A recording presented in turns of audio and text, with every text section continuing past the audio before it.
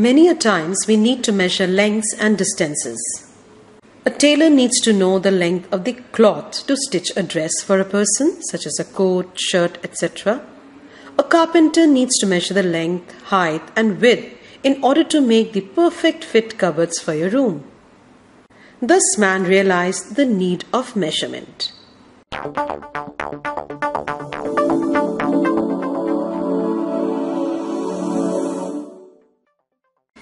It is the comparison of an unknown quantity with a known fixed quantity called unit.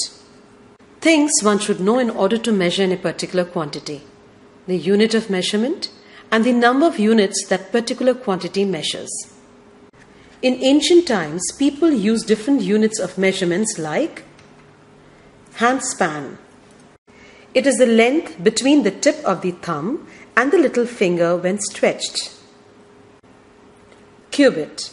It is the length between the tip of the middle finger and the elbow. Footstep. It is the length between thumb and the heel of the foot. Yard. Distance between the end of the outstretched arm and the chin. Arm length. It is the length between the shoulder and the middle finger. These methods of measuring length were not satisfactory because the length of the arm, foot, and handspan varied from one person to another. Different standard units of measurement were created at different places.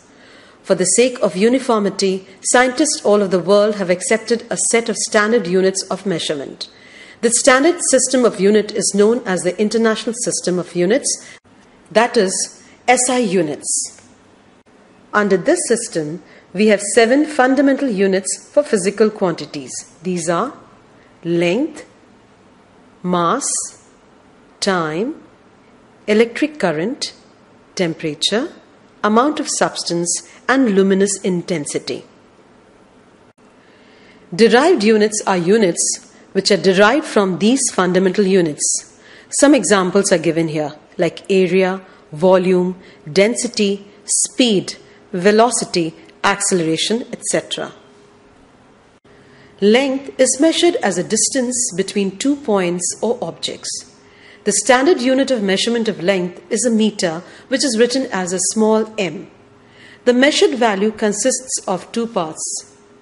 For example, if the length of a desk is 2 meter, it means that the meter length is repeated 3 times. There are many instruments used to measure length like meter rod, meter scale, meter ruler, measuring tapes, etc. The type of instrument depends on the type of work and the accuracy that is needed. For example, the flexible measuring tape is used by a tailor, a 15 centimeter ruler for geometry work, and a stiff measuring tape by carpenter and masons. Very small lengths is measured with the help of special instruments like screw gauge and vernier calipers.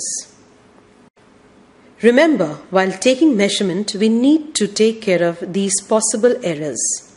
If the scale is not placed exactly along the length being measured, then a wrong reading will be obtained.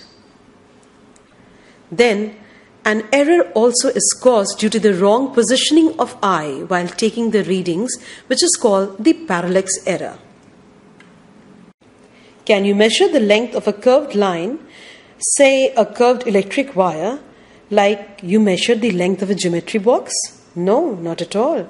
For that, you will need a thread.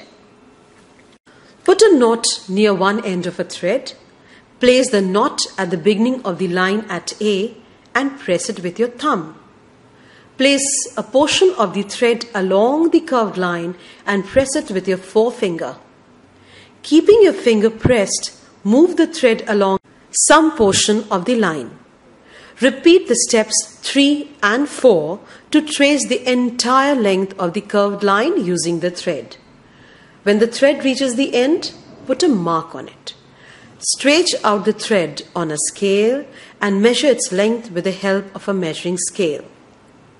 And you got it. Thank you.